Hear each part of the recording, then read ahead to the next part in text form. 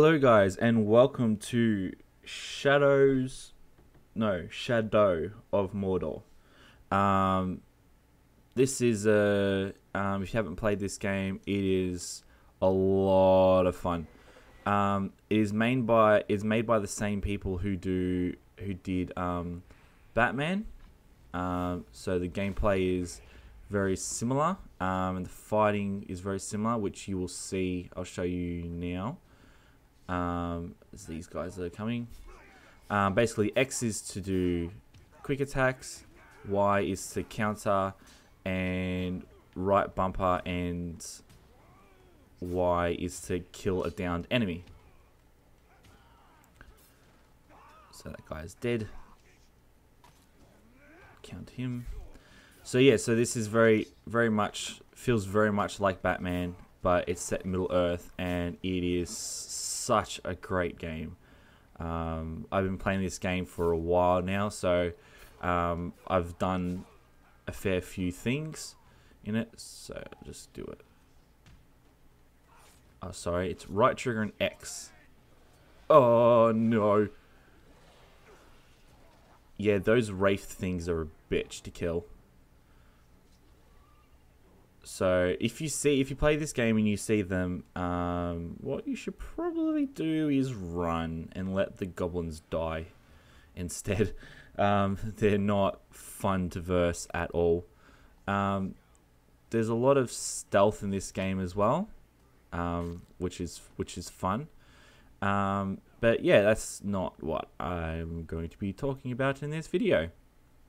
Uh, this video um, basically, uh, I've mentioned it a few times before, and you guys probably already know all about this. But uh, last year, I had uh, append- I had appendicitis, and my appendix actually burst. Actually, I should probably look at where I'm going.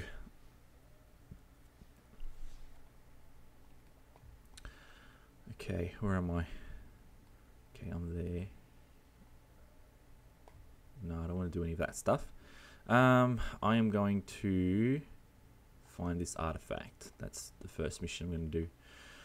Okay, so yeah, basically last year, um, towards the end of last year, uh, my appendix burst. So I was in the hospital um, for weeks, uh, for about a week and a half. Um, with uh, appendicitis um, and having it removed. Um, I haven't really talked about it either on my blog or on video um, of what what it actually was like and what actually happened. Um, basically, so that's that's what I'm going to be doing in this video, uh, and also going to be discussing a few things um, so that you guys will hopefully be able to help out somebody who may be in this maybe in a similar similar situation um, and kind of understand how they are feeling about it. Um, so yeah, so to start off with, um, I was pretty much. I want to hide from this guy. Um, so to start with, I was pretty much in um, it started off on Thursday night. Um, I was in, um, basically, I was in the toilet um, for all night, pretty much, um, puking my guts up on a Thursday night, uh, and uh, which was not pleasant at all. Um, yeah, so that that's basically how it started. Um, and then from there, I kind of. Um,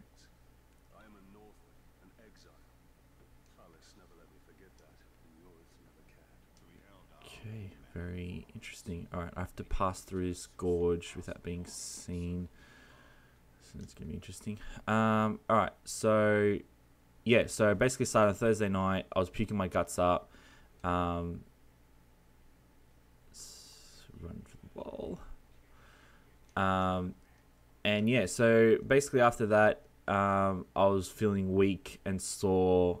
Um, my stomach hurt. Um, and I was tired, and I ended up sleeping on the bathroom floor.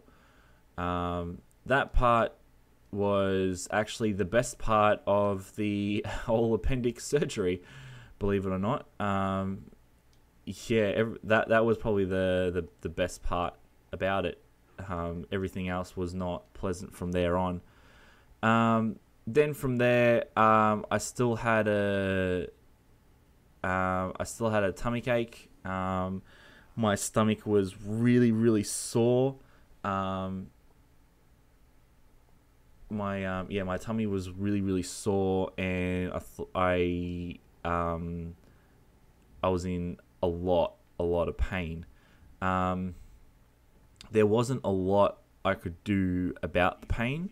Um, it kind of felt better when I kind of squeezed my belly, kind of put pressure on it. Um, that's what made it feel better. Not a lot better, but kind of enough to be able to move around and that sort of thing.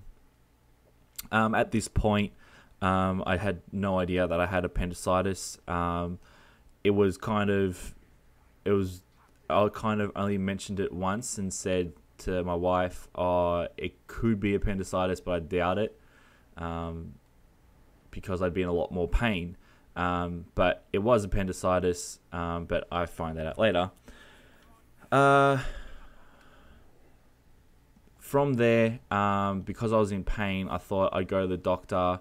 Hopefully, they can. Um, hopefully, they can prescribe me some sort of medication to help with the pain, so that I can kind of, you know, get through it and get over it. Basically, um, when I went to the doctor, he felt around and he was basically like, uh, "Look, you know, because you were puking all night, it could just be." Um, muscle tiredness um, because I had been puking all night.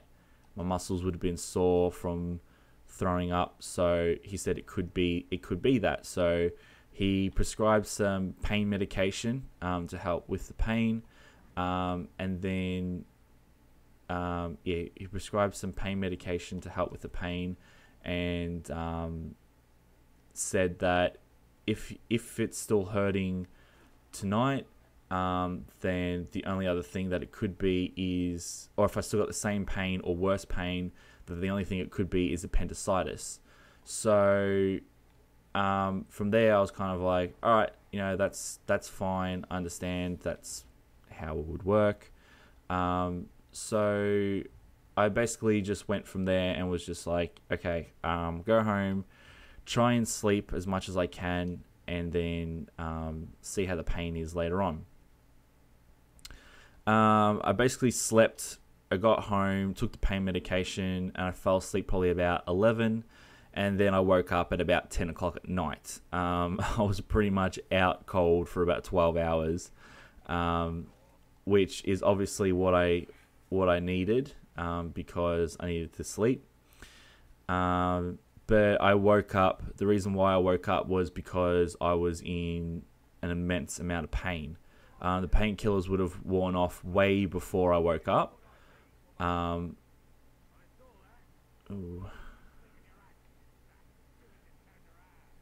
um, yeah, so I would have had. Um, I was in a lot more pain than um, what I uh, was when I woke up. My painkillers would have worn off way before then, um, but I was just in a lot more pain. Now I don't know I don't know what I don't know what actually happened, whether or not something burst or something like that. Um, but I don't think my appendix actually burst at this point. Um, I think it was at a later point. Um, what what I think happened was that it just got it just got worse. Um, so yeah, so then we basically then my wife basically said, you know, look, we need to go to the hospital um, because you're in a lot more pain, and you know, as wives do, they worry about you and you know want to make sure that you're okay. So yeah, so that's so then I went to the hospital. Um, went to hospital about ten o'clock at night. Um, ended up waiting at the hospital till about three in the morning before I got seen. I was in the emergency room. Um,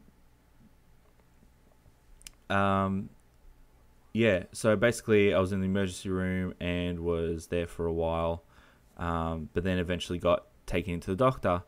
Um, he did a probably about a 10 minute look over um, and basically said, Yeah, you've got appendicitis. We need to remove your appendix as soon as possible. Um, which, you know, some people might be like, Oh, you know, but he only looked at you for a few minutes, but it only took him like two seconds to go, Yeah, you've got appendicitis. We need to remove that, that appendix now. So, yeah, so um, I then basically I got admitted, um, blood tests, all that sort of stuff um, as sort of what would normally happen.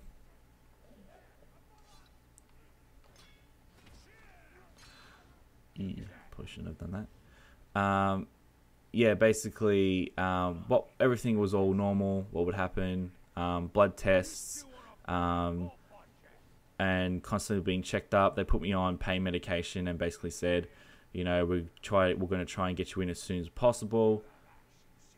Um, but for now, just rest as much as you can. So that was Friday night, Saturday morning. Um, I basically tried to sleep for as long as I could, um, but I got woken up early in the morning um, with an even uh, more pain that was very. It's very very hard to describe what the pain was.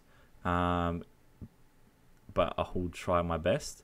Um, basically, what it felt like, even though I've never actually, this has never actually happened to me, um, what it felt like was that I got stabbed in the, I got stabbed in the stomach, um, and that it was still, I still had kind of like whatever they stabbed me with, it was still in there and it was being like twisted and turned and pushed from side to side and um, that's that that was basically what it felt like again i'd never been stabbed so i don't actually know if that's what stabbing feels like but that's what i would imagine it's felt like it just felt like i was being um, stabbed um, in the in the stomach ooh Watch this. I can blow this up. Ready? Wow. Um, yeah, so that's what it felt like. It felt like I was getting stabbed in the stomach. Um, at this point, I've told the nurses, "Look, I'm in an immense amount of pain. There, I need to, I need to do something about this now because it's it's a lot of pain." Um, they basically said, "Look, we'll try and get you in as soon as we can."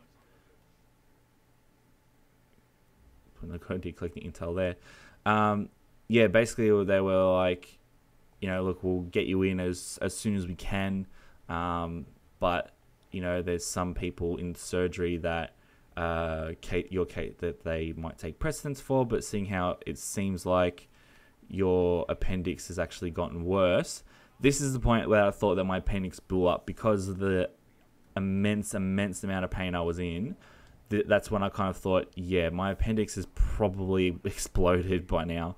Um, um, I kind of really don't remember a lot of what happened after after the doctor talked to me. Um, but from what I was actually told by my wife and my dad and all that sort of stuff that were there, was that um, I was pretty much writhing in pain, um, and I occasionally stopped moving around. And what they thought was that um, what what my dad and my wife thought was that um, I basically were just tied myself up out by rolling around in pain. Um, they don't think I actually like passed out from the pain or anything like that, but more so just was in so much pain that I just tired myself out. Um,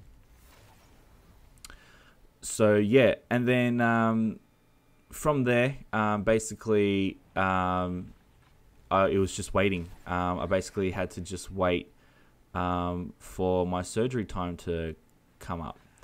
Um, it was scheduled for Saturday morning, first thing in the morning when the surgeon got in, which would have been probably at about uh, 9, 10 o'clock, I think it was scheduled for. Um, but then what happened was um, it uh, it had to get postponed because um, a lady was pregnant and um, she had to give a C-section straight away because um, they just said that they had to rush her in to get a C-section. Kind of thought probably because you know it, either she would either she was dying or the baby was dying, but I'm not gonna speculate on what it was. That's probably most likely the case, but um, it could have been just simply um, she just wanted the baby out, which is fair enough when you're at that point. Um, but yeah, so basically, um, I ba- basically was postponed um, until uh, I was postponed as the last surgery because um, it was basically her um, and uh, another lady. There was two ladies that had to have C sections straight away that came in at the same time. So basically, it was both of them, and then I was next after that. So from from then, I think my scheduled surgery changed to like two o'clock, one two o'clock, um, and I was still in pain at this point. Um, all this stuff that I'm saying now, by the way, is it's this it's stuff that I wasn't aware of at the time. This is stuff that I've been told about after after the fact. Um, like I said, I was in so much pain. Um, I can't I can't I couldn't actually remember exactly what was going on. Um, so yeah, so that's basically. Um, oh, okay, don't need to grab that. Um, so basically, that's what happened with that. Oh, I won't pick up the Intel now. I don't need it now. Um, so yeah, so basically, that's where. That's basically what happened. Um, up to that point. And um, I will continue the rest of the story in the next video. So I'll see you in the next one.